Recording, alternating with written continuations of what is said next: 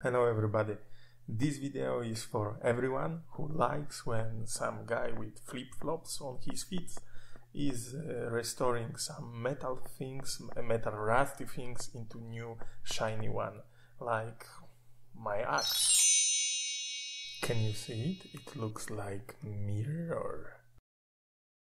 For the handle for my future axe, I choose acacia wood and what is important, I choose a piece of wood with parallel fibers.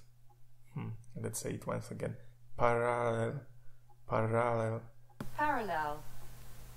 parallel grain or fibers. I don't know how it is uh, called in uh, English. Anyway, I took that wood because it is very dense and hard wood, not very easy to carve, but very good and durable for an axe handle. So I draw a shape of my handle and then I tried to cut it, but I don't have a good uh, tool for that and I'm using this this thing, I don't know how it is called in English.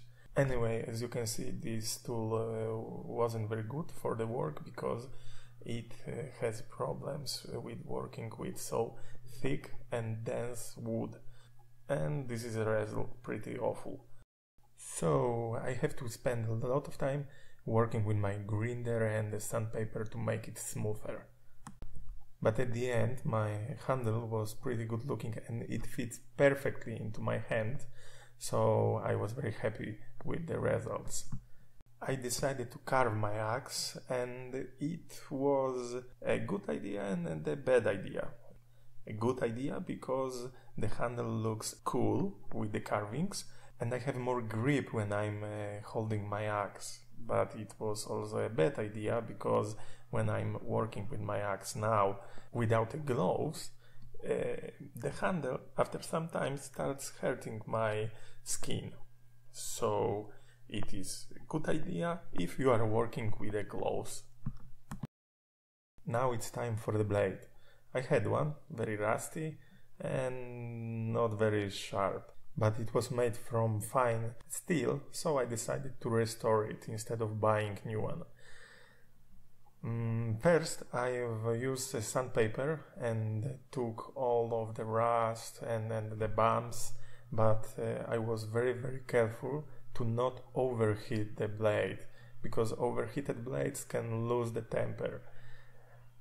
I was using the sandpapers from 100 grits up to 3000 grits and this is because I wanted to make a mirror from my uh, blade and I achieved that what uh, you will see at the end of the video.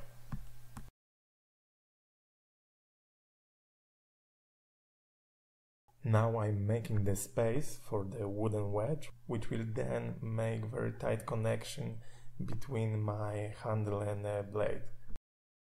And at last the final step, staining the handle. I'm using the stain based on oil, but this is not an oil paint. This is a typical stain for the wood.